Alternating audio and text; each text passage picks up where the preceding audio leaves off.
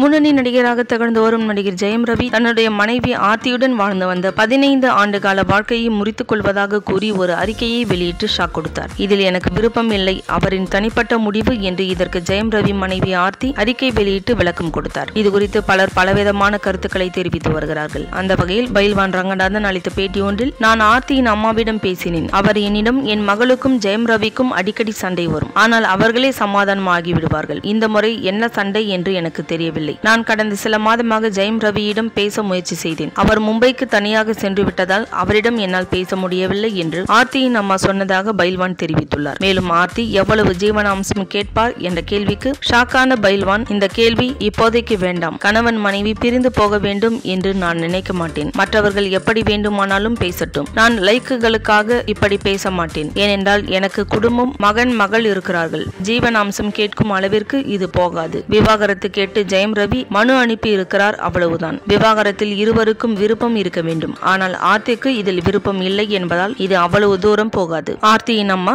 ஜெயம் ரவி குடும்பத்தினர் பேர பிள்ளைகளுக்காக சேர்ந்து வாழ இருவரையும் சமாதானப்படுத்துவார்கள் என்று பைல்வான் தெரிவித்துள்ளார். இந்த வீடியோ உங்களுக்கு பிடிச்சிருந்தா லைக் பண்ணுங்க ஷேர் பண்ணுங்க கமெண்ட் பண்ணுங்க. மறக்காம நம்ம சேனலை சப்ஸ்கிரைப் பண்ணுங்க.